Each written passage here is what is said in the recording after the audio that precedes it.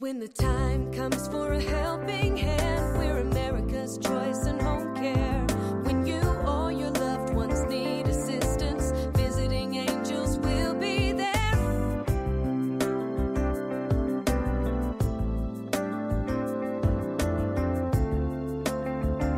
Morning, everybody. I see that it is 11 o'clock. So we are going to go ahead and get started while uh, Sheila, who I will introduce in just a moment, gets her slideshow ready for us. So, welcome. As I said, this is Mary Ellen Wilson. I am your business development manager here at Visiting Angels.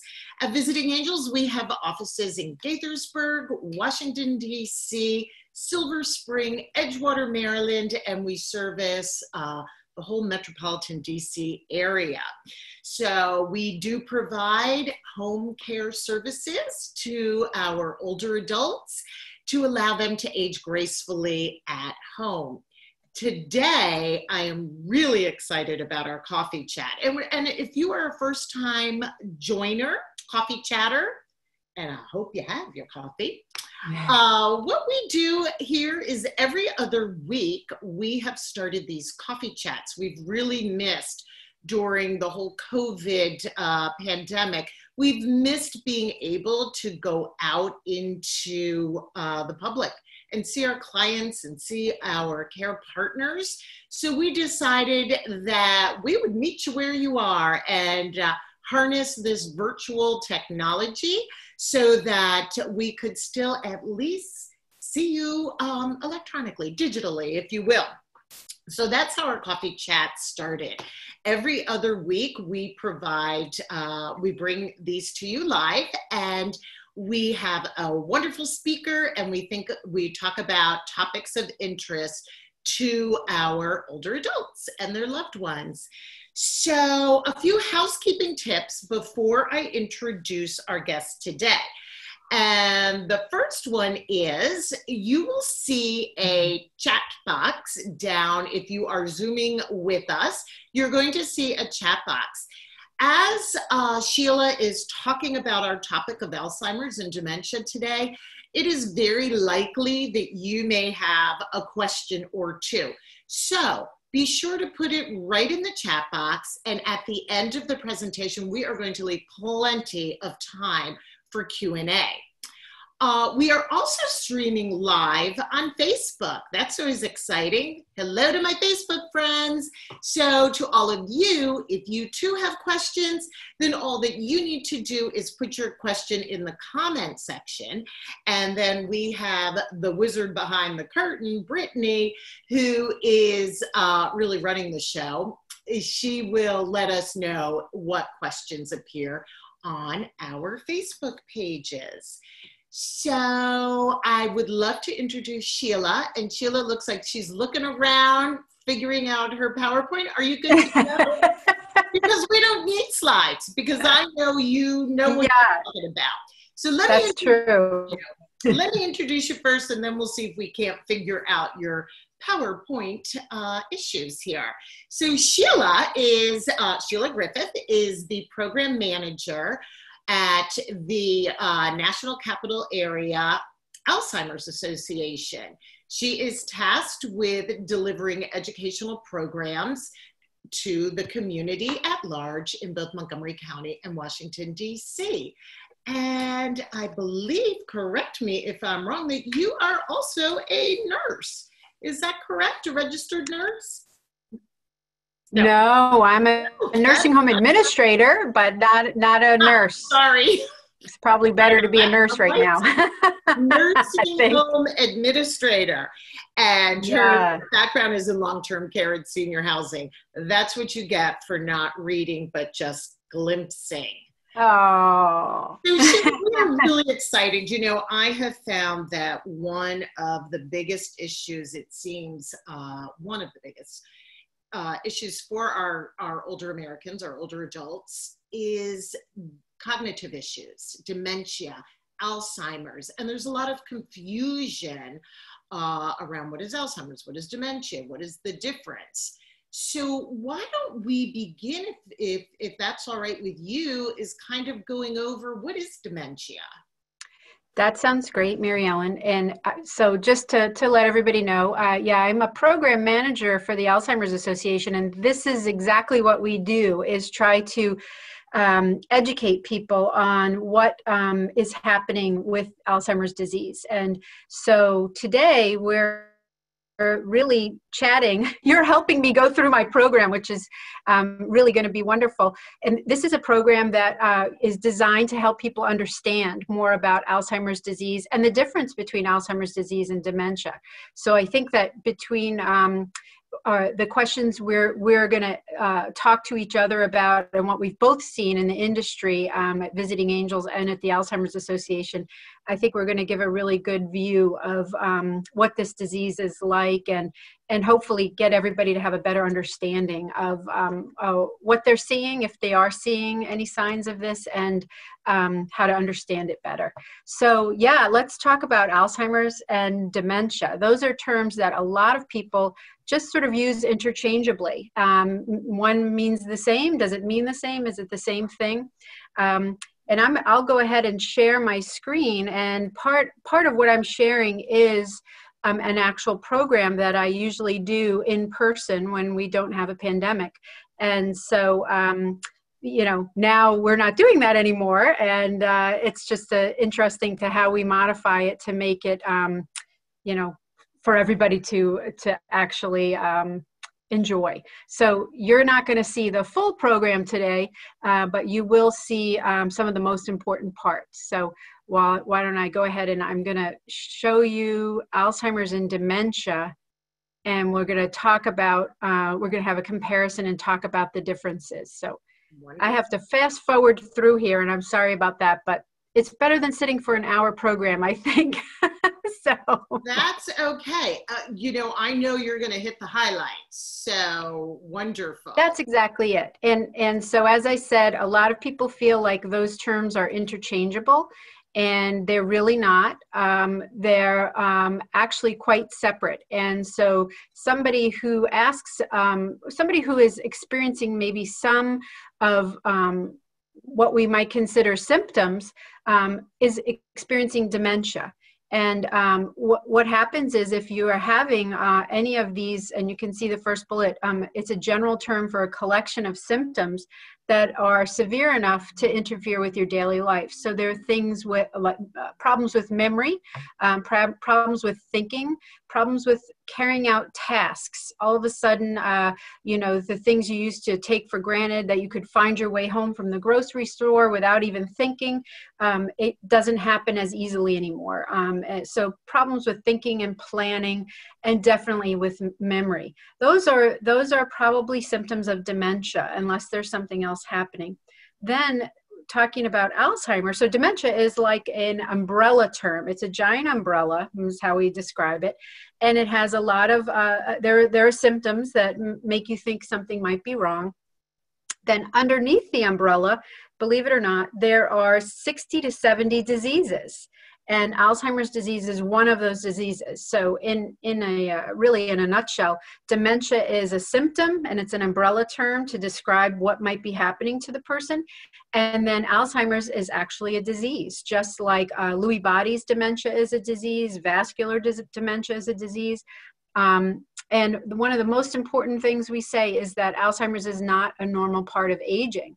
So it is a, a brain disease and a progressive brain disease at that. So, uh, and probably everybody knows who's listening is that we don't have a cure uh, for Alzheimer's disease at this time. So I'm going to get to a slide that shows you a little bit more of um, all of these diseases that I'm talking about that know, fall under that umbrella. While yeah, while you're you're finding that slide, I just have to say 70 different diseases under the dementia umbrella. Yes. I have no idea, and Alzheimer's is but one. It's interesting that Alzheimer's seems to get all of the um, shall we say publicity you know most of us when we think of dementia we think of alzheimer's but there's so much more going on Well, and one of the things, and you know this, Mary Ellen, and I know Visiting Angels is is always a proponent of this, is getting a diagnosis. So something is wrong. You need help. Uh, you need assistance. Um, you, you sense something's wrong. Your loved ones will definitely see something is going on, and and let's try to figure out what why are you having these symptoms of dementia and it leads to getting underneath that umbrella and getting a diagnosis for one of those diseases that's under there. Now, for some diseases, there are medications that can actually help those symptoms of dementia and maybe help a person live with the disease, whatever they're experiencing. Um, and there are drugs um, for Alzheimer's disease that can help the symptoms of Alzheimer's disease. But the point that we like to make is that if you stay up top and just experience this dementia and you never know why and it just gets worse um, you really put yourself at a disadvantage. But because getting that diagnosis can there may be interventions that um, you can you can live uh, a, a, more of a, a, life that you'd like to lead, maybe more independently, uh, or maybe um, with a little help uh, instead of waiting until the, the other shoe drops and maybe you're in the full throes of uh, one of the, the diseases under that umbrella. So um, some, some of those diseases, and there's even, um, I always uh, tell people this when we're talking in, in person, um, has anybody ever heard of a, a dementia related um, having dementia and it's actually reversible.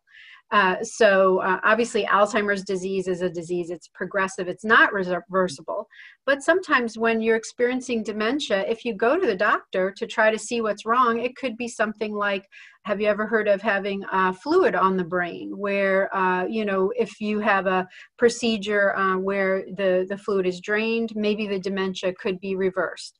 Um, a lot of times in nursing homes, I'd seen people who, you know, landed in the hospital because they were found on the kitchen floor by their neighbor and they had been on the kitchen floor for, you know, two or three days without food or water or, or care and uh, because they'd fallen and they develop a little dementia. They don't know what day it is. They don't know why this happened. They don't know where they were. They don't know what what you know what became before the fall and and why they're even in the hospital and they might land in our in a nursing home and when you have somebody there who then seems like they have dementia but you give them three meals a day you give them medications that they need and you know in a in a little while you might see some of that dementia improve and uh, and their thinking improve and their memory improve. So it's an interesting um, it's an interesting symptom of something and getting a diagnosis is the best uh, course of action. Wonderful. Okay so next we could talk about risk factors if that sounds like uh, something that we um, would be interested in. We usually Absolutely. go through that also. Yeah, okay. are there specific risk factors? That's interesting. Yeah, we definitely. There are. And I'm going to put you on the spot, Mary Ellen, okay? So yeah uh, this is this is a in this program i have like i think there's about four called test your knowledge questions i call them quiz questions when i'm in front of a, a bigger audience and i you know we usually have raise of raise hands or whatever. So we'll put you on the spot here right, um, game.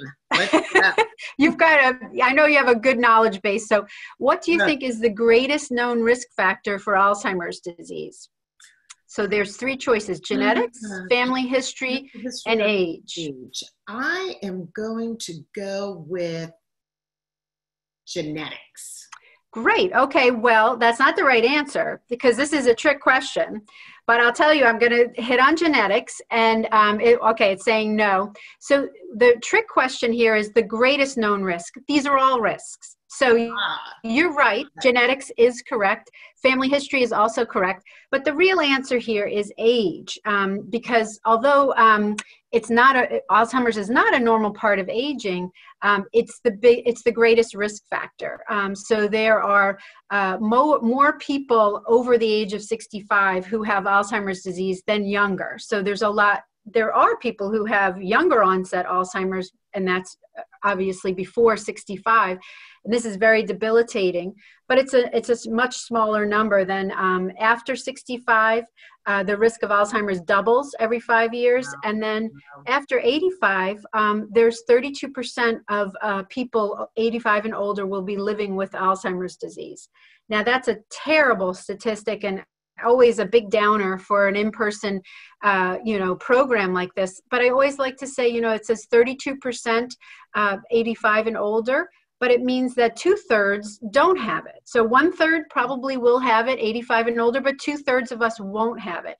So that's how we have to think of it. Is not it's not normal to have um, memory loss and to have problems with thinking and planning and getting a diagnosis like Alzheimer's disease. It's not a no- normal part of aging, and and to please try to to to get some help or some uh, a diagnosis where maybe there are some interventions for you.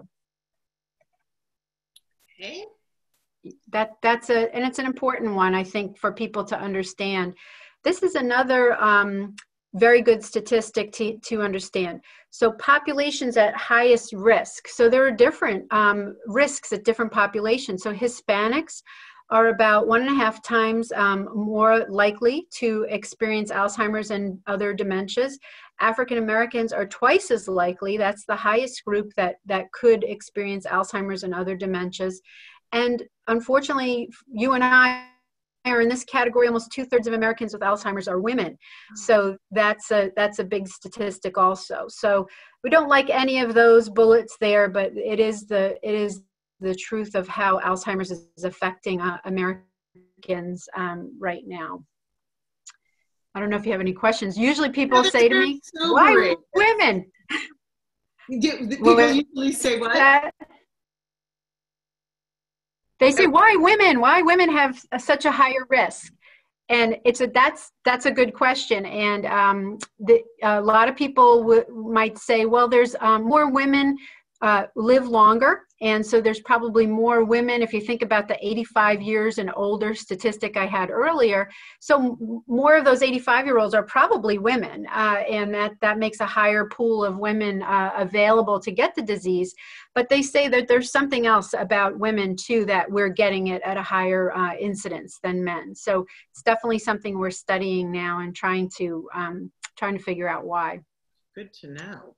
Hmm. All right. You're a little bit frozen, so we'll go over our next risk factor. But while you are unfreezing, I will mention that uh, what I have noticed is the most often cited diagnosis within our clients is dementia. So having age as the biggest risk factor does make sense uh, when you look at that's who our, our clientele is as well. And for some reason, Sheila is a little bit frozen. Let's see.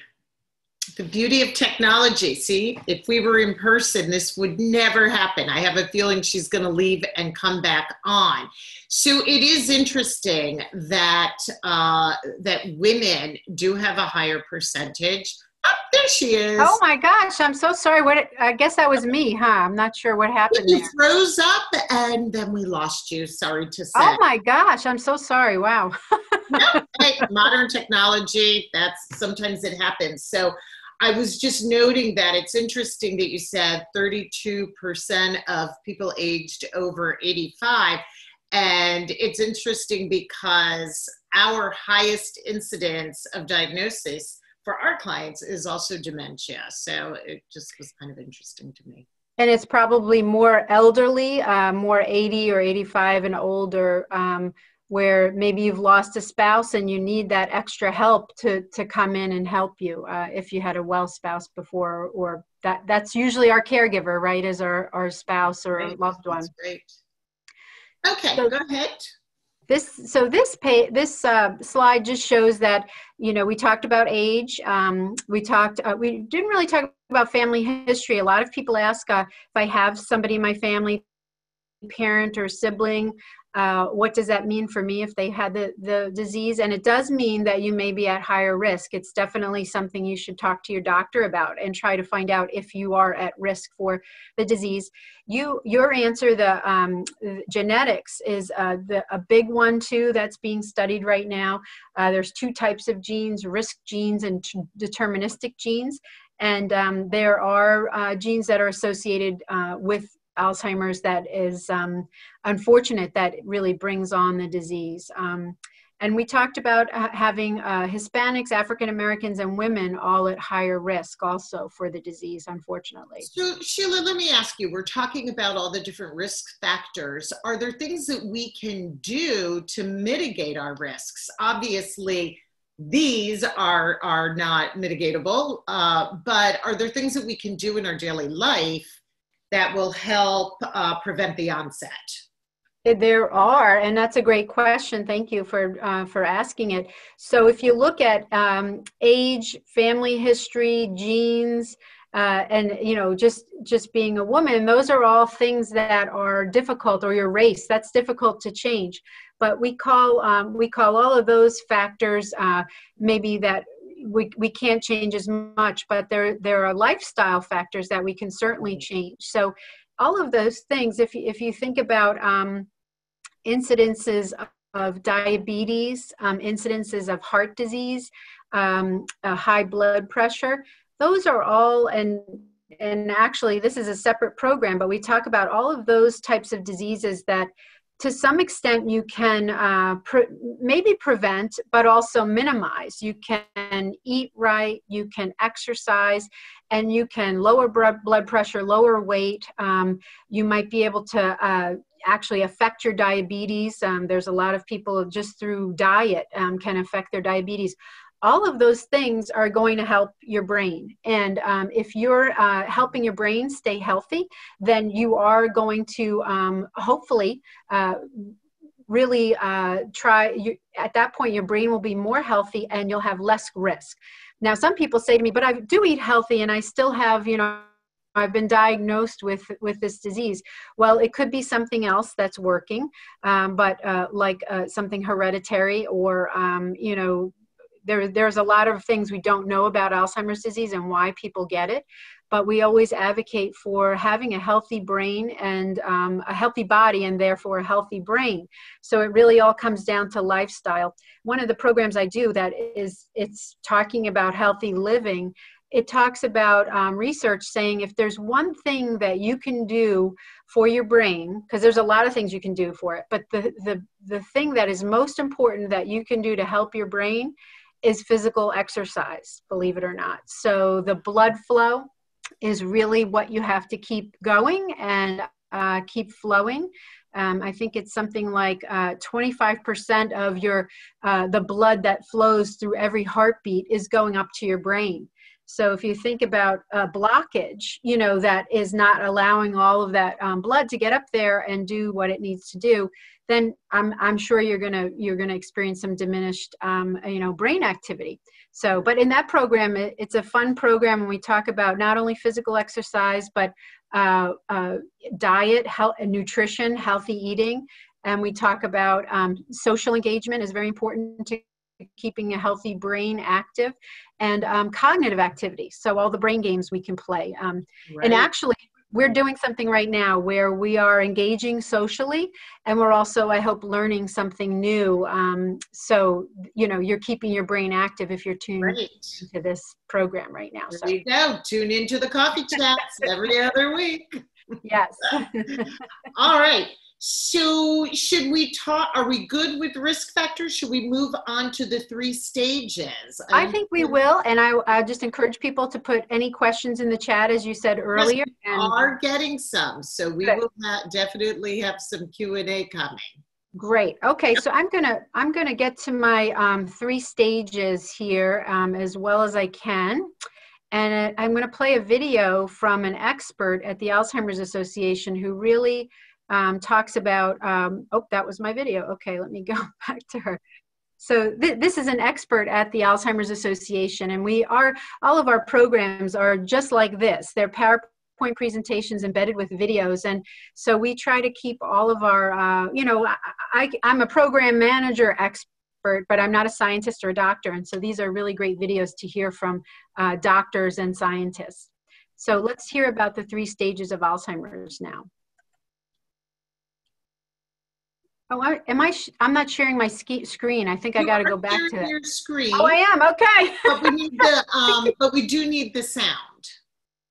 Okay, so uh, let's see if I can make sure that we get the sound.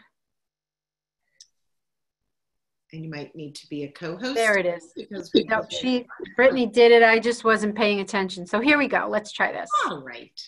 Alzheimer's affects everyone differently. As a result, it's difficult to place a person in a specific stage of the disease. However, there are three general stages that are commonly referred to as early, middle, and late stage Alzheimer's. In a medical context, you may hear these stages referred to as mild, moderate, and severe. In the early stage of Alzheimer's, an individual may be able to function independently. However, they may start noticing more frequent memory lapses. Friends and family may also begin to notice difficulties in the person, and a healthcare provider may be able to detect problems in memory or concentration by conducting a detailed medical interview. Middle stage Alzheimer's is typically the longest stage and can last for many years. Damage to the brain cells can make it difficult to express thoughts and perform routine tasks, and this can lead to increased feelings of frustration and anger.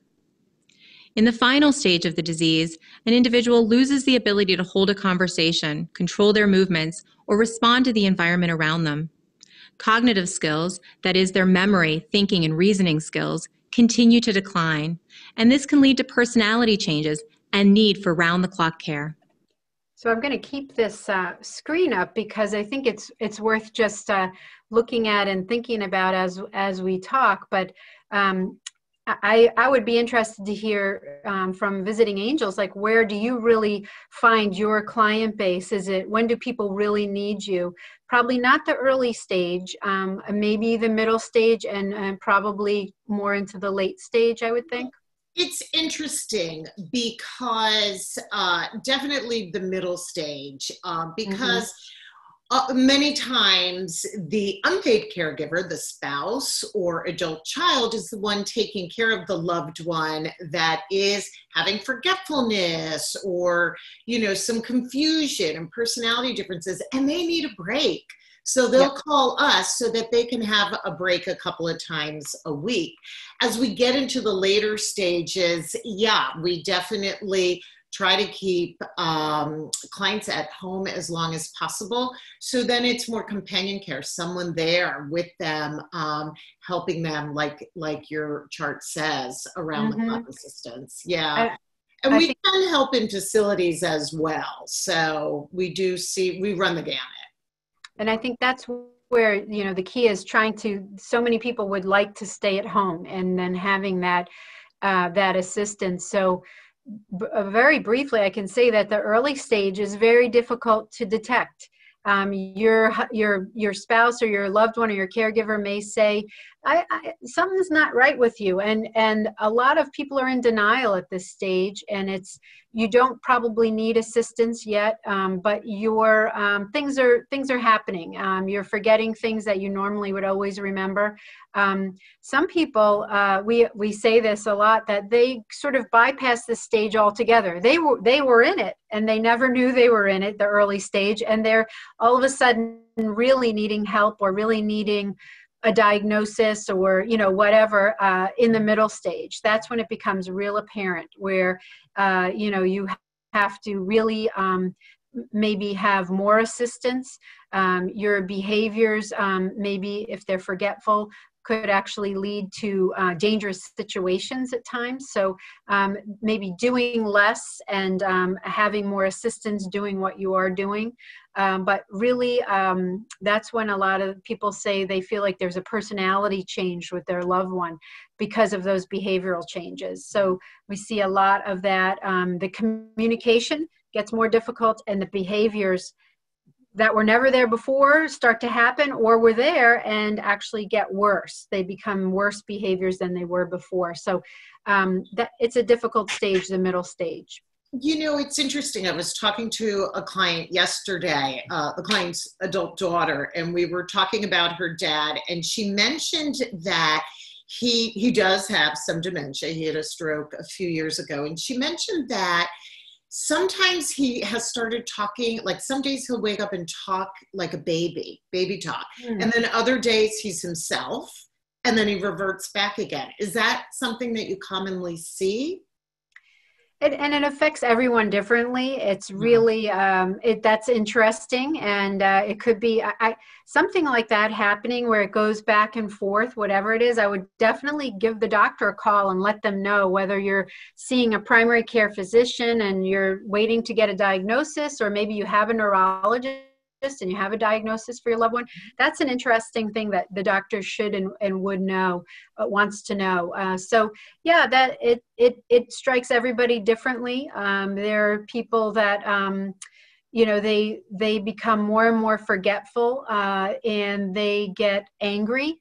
They get angry at you their loved one and they get angry at themselves and they're angry at themselves so that's why they get angry at you and uh, they you know sort of lash out in that anger. Now this might not have been an angry person to begin with but they could um, you know do anything. Like i've heard of people using bad language never use bad language in their life. And then because of this anger and i think it's also fear you know you you go through alzheimer's disease and you never stop being you. You're still you and you still know something's not right. And uh, i've heard people ask in nursing when i worked in nursing homes ask me what's wrong with me? You know they're they're in the middle stage they're well into it and you know probably been told they can't remember. And then they wake up one day and they it's they there's something wrong. They know something's very wrong and they they they don't know what it is. And so they'll be asking about that. So yeah i think all those symptoms like talking baby talk or um, not doing things for themselves um, things like that changing any kind of change a doctor would want to know about. Okay. So i'm wondering if we should ask some um, if we should look at some questions or do you want to go to resources first? Uh, Sure, we could look at if there. I mean, a lot of people have questions around now. I mean, the in the late stage yeah. is the really hardest stage, as you you said earlier. Uh, a lot of people uh, can't stay at home. Uh, they need to have somebody uh, like uh, uh, visiting angels or some somebody there with them 24 hours a day. And if that's not possible, they may have to be in a facility to have care 24 hours a day. So that's that's what it leads to, and it's very very difficult. So yeah, we could have questions if that if that works. If you see any, that yeah. would be good for now. So here, our first uh, question from Judy: What's the best type of doctor to go to for a diagnosis? Well, I th- a lot of people ask that question, and I think the key is is finding a neurologist. That's who you probably will be referred to, but this is how you might start. So anybody who's over 65 um, and is Medicare eligible has um, what's called a well a well visit, a wellness visit, and it's one visit a year with your general practitioner.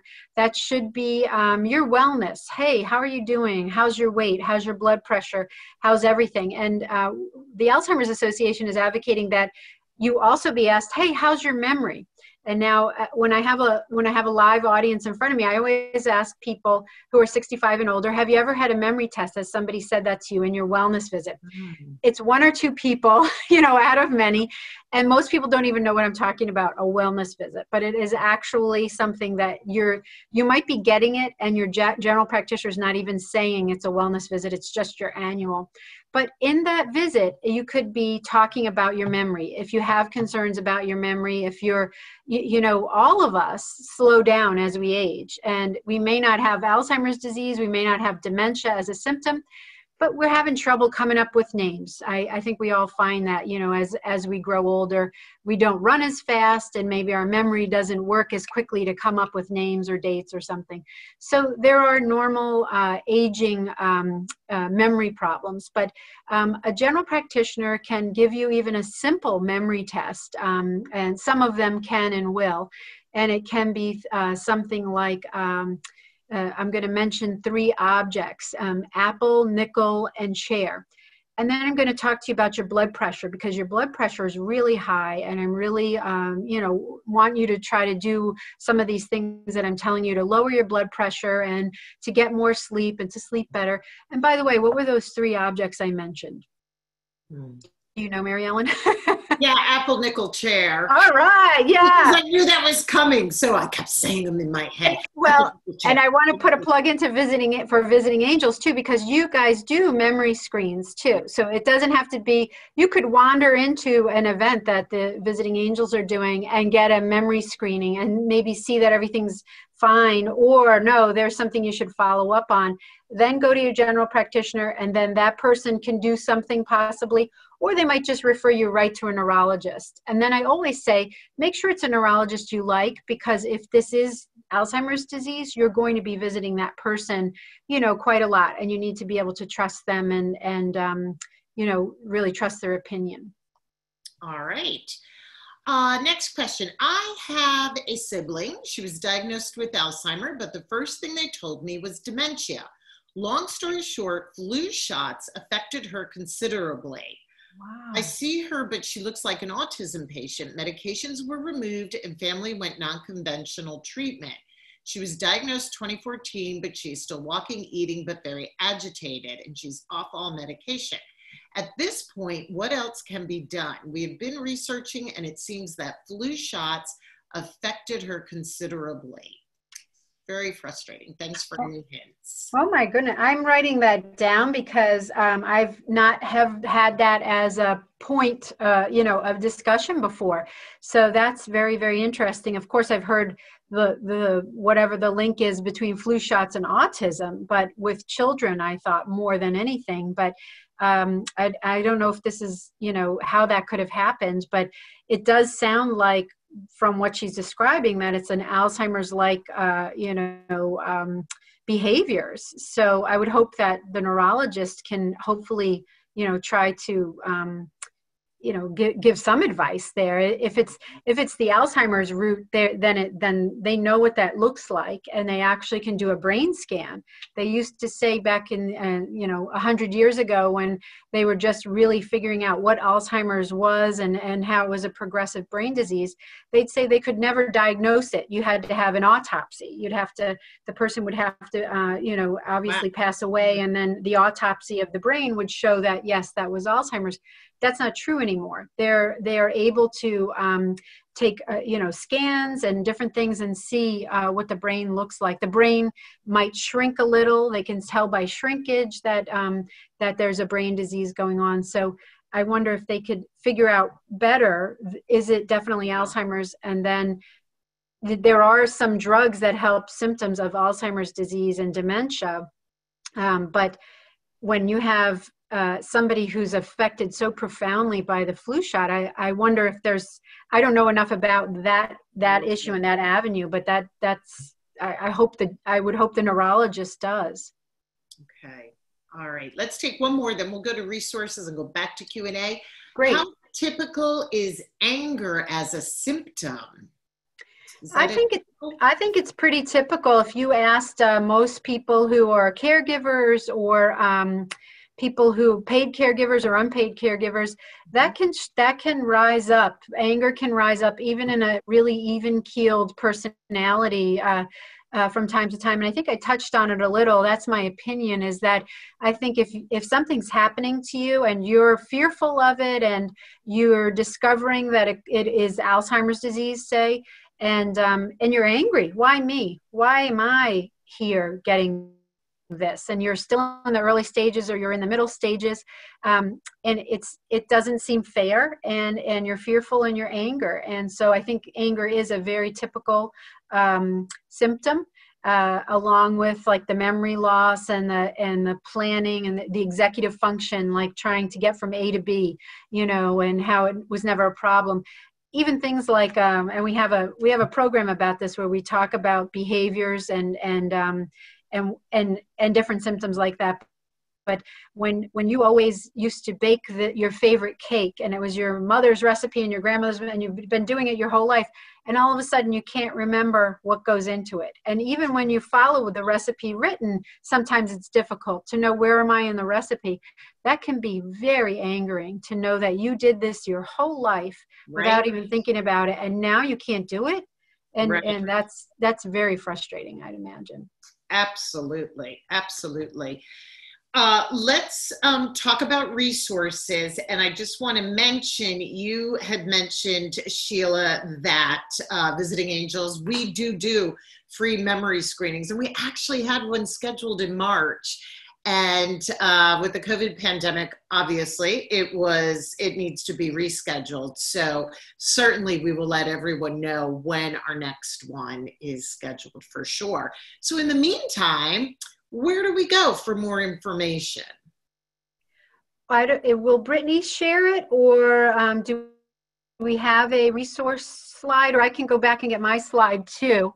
But I think we, I think it's yours. You have. Oh, okay. All right. Let me let me share again then. So really what I what I would like people to do today, if they haven't done it already, is to go to um, our uh, oh, oh, there we go to go to our website alz.org, and I'm just going to fast forward through the rest of this program. We we um, touched on all of the very. There are currently several drugs that are here. FDA. I want to just get to my resource page. So at alz.org, we really try to, it's, it's a huge website and it talks about everything from, you just saw clinical studies to advancing Alzheimer's research to um, really opportunities that you can uh, help the association or participate in the um, in the fight against Alzheimer's disease. So we have probably you've heard of us, maybe not for a program today like we're, we're just experiencing, but for our fundraising. So that's our main mission is to raise funds for research um, to uh, find a cure for Alzheimer's disease. But in the meantime, uh, we also have all of these resources to help as people are maybe in the disease or wanting to learn more about the disease. So um, we have a great helpline, a 24-7 helpline uh, that uh, you can call anytime. And if you're, especially if you're a caregiver and you're really maybe experiencing uh, behaviors that you never saw before in your loved one and it's just exhausting and uh, and you don't know what to do. And um, you can call this helpline. And we have people who are uh, trained uh, at the social work level to give you really good answers and good resources on, on what you can do next. We can't send somebody out like visiting angels can and come help you the next morning or you know the the next day after that. But we can um, a lot of times what they'll do at this 800 number is put you in touch with me in Montgomery County, and then I can help you figure out what your local resources are and, and what your next move is. But if you could go to the, um, the alz.org uh, website, I'm, I'm sure you'd find there's something for everyone there. Um, and if you did want to see other programs like this, you could find that also. So there's education programs on the alz.org um, website. And I will say that Montgomery County seems to have a very robust um, program for memory care. I know that they have memory cafes and different educational outreach programs. So I think that there is a lot, if you are lucky enough to be in Montgomery County, there is uh, quite a bit of information out there for you.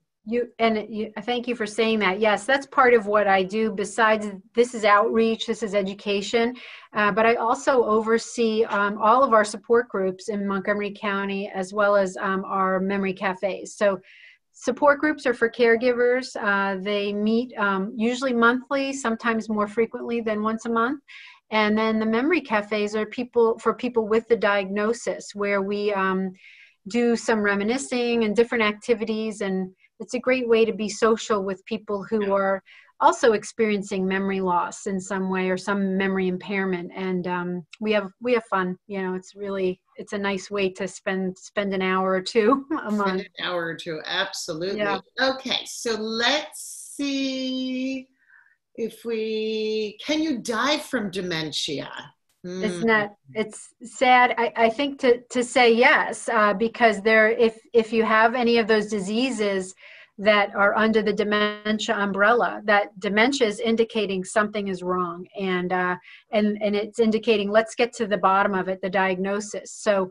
Um, there it'll it, it could be a disease like parkinson's um, that uh, we're probably all familiar with uh, has a lot of physical tremors uh, and uh, but it also can have dementia too uh, so yeah there are a lot of these diseases that you can die from maybe you won't die you're it won't say dementia uh, as the cause of death but it, it but it's it's leading to one of those diseases more than likely Okay.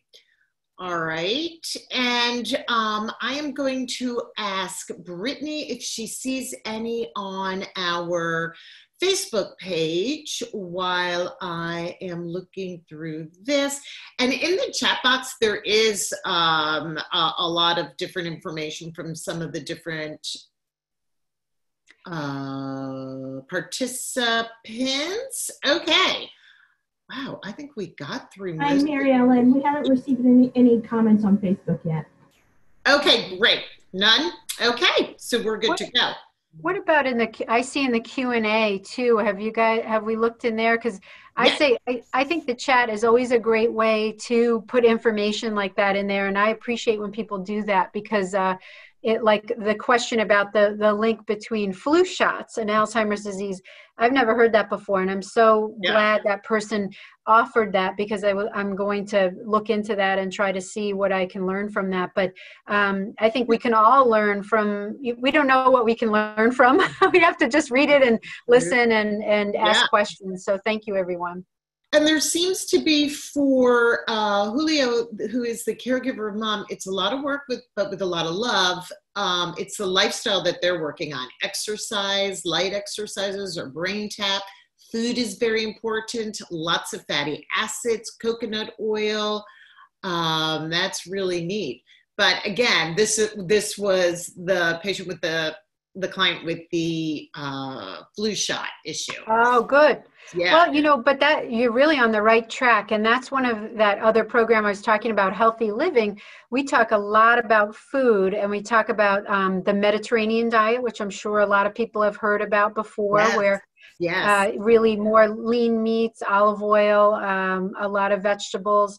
Um, and then there's also the DASH diet, which is um, to help lower uh, blood pressure. And uh, it's a great diet for anybody, even if you don't have high blood pressure. So there are, and we're bombarded, I think, with all of these different types of eat, uh, eating plans and like the keto diet and everything else. So you have to be, you know, just really knowledgeable and trying to pick out what works for you, what's the best thing for you for most of us, maybe over a certain age, it's probably right maintaining or losing weight, not gaining weight. So, no more, uh, not as much fast food or processed food. You have to really be careful of, and uh, and trying to, um, you know, limit your calories and uh, but still, you know, get enough nutrition. Right.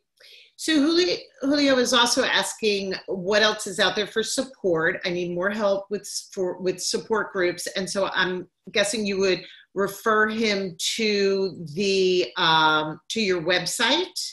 Yeah, I and also I'll put in um, in the chat box my um, email address, and I'd be happy to anybody who lives in Montgomery County, or even if you live um, somewhere in the national capital area, so Northern Virginia, Montgomery County, PG County, um, Southern Maryland, and Washington, our chapter sort of covers everything. So if I don't cover it, then I have a colleague that does. So um, I can I can steer you to the right support group. Now, right now, the support groups are almost all online, so it doesn't matter where you live. You can tune in, you know, anytime that's convenient. But at the Alzheimer's Association, we hope eventually we'll get back to in person, and then we'll sort of, you know, be back to our different little territories. But but right now, there's a lot of support groups. That there's a, we have a support group that is actually uh, specifically for younger caregivers. So for people 40 and younger who are caring for somebody with the disease, and you wouldn't believe that. You, maybe you wouldn't think that that might be an important distinction, but it is for the person who is a young younger 40 and under uh, you're really you've got small kids you've got different responsibilities than somebody who's maybe more towards 60 or even retired uh, you know so there we find that it, it really is helpful to have um, a few of these younger caregiver support groups because the issues are sometimes they're the same, but a lot of times they're a little more complicated, and it's helpful. Yeah, and it's interesting because we just did a uh, coffee chat on the sandwich generation. Mhm, um, that mhm. exact person that you're talking Yes. about. Okay, so Mary would like to know. Um, Mary is our RN doing the memory screenings for visiting angels. Are those tools really effective? For memory screening, We have used the BAS. Is that an effective tool? Well, I think any kind of uh, tool, I don't know what the tool is that um, that Visiting Angels uses for the memory screenings, but I think just the simple one that I did as a that's a very simple memory test, just three items. Keep talking. I've had people who um, in in-person uh, programs, the one or two people who've had them might raise their hand and say, "Well, I've had something a little more in depth," and then they would they were willing to describe it, and it was. Um, doing the uh, you know you have to uh, draw things it's a pen and paper and you're asked to write uh, uh, to draw a picture of a clock and uh, and make the hands say 3.30 uh, on the clock and so things like that are more in depth um, That that's the thing is i don't know what tool uh, is most recommended but i can say getting a uh, screening or then getting any any kind of memory test i think is helpful. If something doesn't seem right this is this is the course of action you should start to take.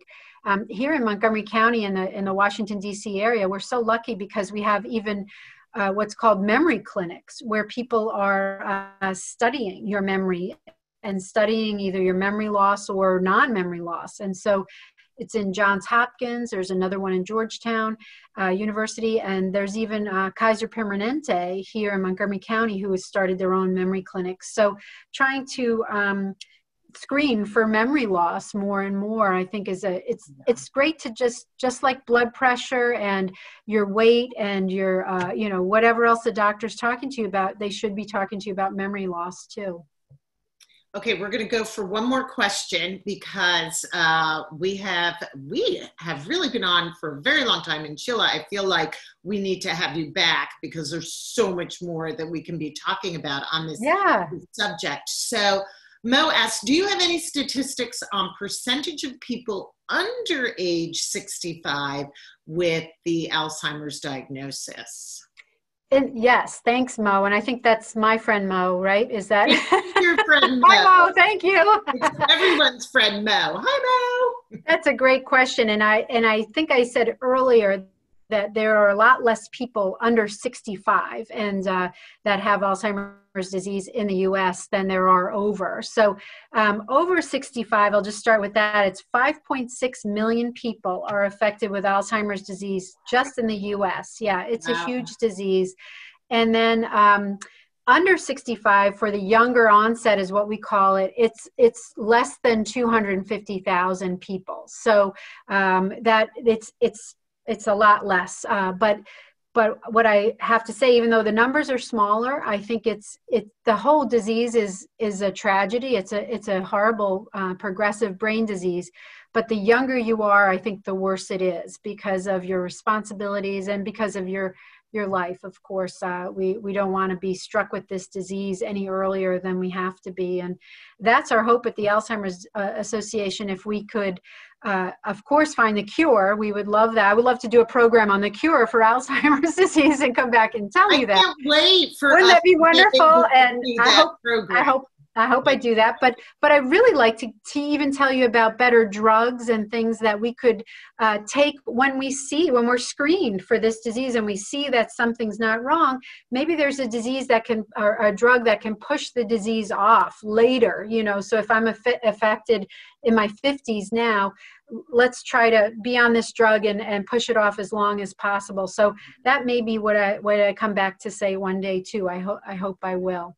Me too. Okay, I said one more, but I, I have to. Um, I do. I did just see something in the chat field uh, for Vera. She says it is very important to state that there is no scientific evidence supporting the flu shot increasing risk for Alzheimer's disease. um, there have been studies indicating that people who receive flu vaccine have a lower risk of dementia.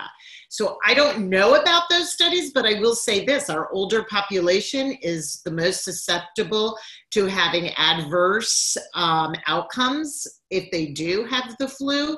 So it sounds like a risk benefit almost. Mm. Do you want to speak I, to that or? I don't know. And, and, you know, I wrote it down as something I really want to be able to know more about. Uh, but I think, you know, getting the flu is a difficult thing for anybody uh, over a certain age, you know, 85. And as you said, it's, it, you know, everything's a risk. And uh, I was yesterday talking to some of my neighbors, had a little impromptu uh, happy hour out front and social distancing. And we were talking about so in the future, we'll have to get a flu shot, a pneumonia shot, a shingle shot, and a COVID shot, right? so, Shoot me up. I know. We were like, wow, you might be right. And uh, so we have to be careful, of course, of everything we're doing. Yeah. We have to really have a lot of information and, and trust our doctors and talk with our doctors. But uh, you know, I'd, I'd hate for the flu shot to actually be detrimental to people. I, I hope that, right. You know, I, I, but I can't, I don't know enough about it.